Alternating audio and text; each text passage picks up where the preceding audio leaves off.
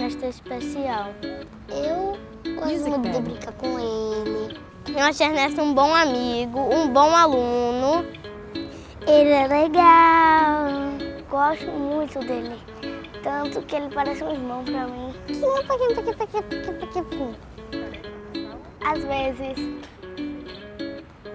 Não, tem Music menina Band. também. Ele tá aprendendo a ler. Às vezes a tia tem que pegar na mão dele para escrever. E às vezes ele faz sozinho. Ele aprende a escrever. Ele aprende um monte de coisa.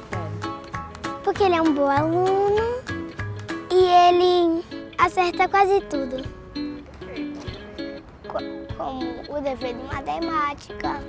Eu ajudo ele a brincar. Eu ajudo no dever, tipo assim. E a experiência com Ernesto, desde o primeiro momento, do primeiro contato que a gente teve, né? A princípio eu fiquei como, como lidar, mas aí no meu primeiro olhar, meu primeiro encontro de olhar com ele, eu já senti que ia ser uma história linda que a gente ia construir juntos, eu e ele. E foi, né? Porque eu fui aprendendo muito com o Ernesto. Aquele, a- até um- um- uma alisada no meu rosto, sabe? Aquela coisa de chegar, não querer ficar e depois foi aos poucos ficando. Era uma apresentação que ele no início tinha uma certa rejeição e daqui a pouco estava participando e fazia lindo para todo mundo ver. E eu olhava e é, eu tenho o meu dedinho ali, né? Tem a minha participação naquilo tudo ali, no aprendizado, na convivência com os outros, que às vezes ele chegava, não estava bem, mas daqui a pouco então a gente ia conduzindo e a coisa ia fluindo.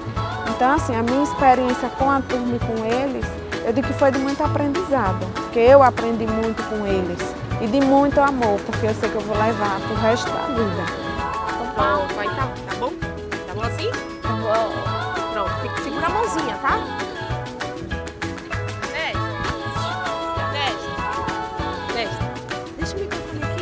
Aqui. Presta atenção, ó. Mamãe. Desce. Tá feliz? Eu, Você tá feliz? eu tô sim. Tá feliz que tá brincando com seus amiguinhos no parque? Tá, eu tô feliz. Você gosta dos seus amiguinhos? Gosta, Gosta muito? gosta muito. Ah, e o que mais você gosta na escola? Eu gosto de brincadeira. Fazer a tarefa, você gosta? Music sim. E da leitura, você gosta? Gosto sim. Você vai fazer assim, olha pra mamãe. Nesta. Manda um beijo pra mamãe.